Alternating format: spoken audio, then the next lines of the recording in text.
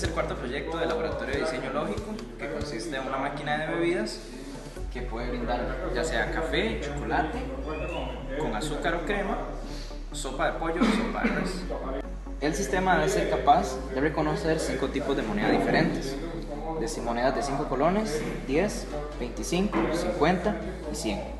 Además, una botonera para la elección del producto displays de LEDs que muestran el proceso en el que se está preparando el producto y un botón que le dice a la máquina que la selección de producto está lista.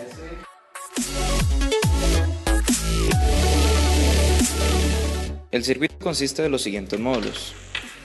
Un módulo de control de la LCD, encargada de controlar la LCD que muestra los mensajes de los distintos procesos realizados por la máquina. Un control de display de 7 segmentos que muestra el dinero introducido, así como el vuelto del usuario.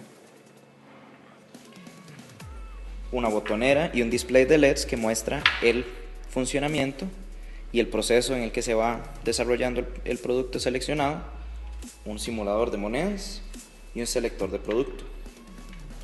Y un CPLD, que es, podría decir, el corazón del, del sistema, que es el encargado de controlar los tiempos y los datos que se le suplen a la LCD, así como al display de 7 segmentos.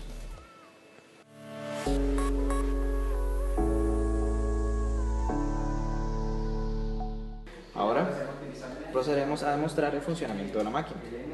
Para eso introducimos una moneda de 100 colones. En el display de 7 segmentos vemos la cantidad de dinero que, está, que, se, que se introdujo de 100 colones. El display muestra moneda presente, es decir, se ha introducido una moneda de la denominación que sea en el sistema. Ahora se procede a escoger un producto, que es sopa de res. El display muestra el producto seleccionado, sopa de res. Y una vez que el producto está listo para ser preparado, se presiona el botón producto listo. Se prende el dedo que indica que la taza ha sido soltada y el proceso solo continúa hasta que un sensor indique que la taza ha llegado a su posición de llenado, que es representado por este botón. Una vez que el botón es estripado, el sistema procede a agregar agua durante un tiempo determinado, después procede a agregar la sopa de res, termina de llenar la taza con agua y muestra el vuelto. Indica en el, display LCD que puede tomar su vuelto y los siete segmentos también lo muestran.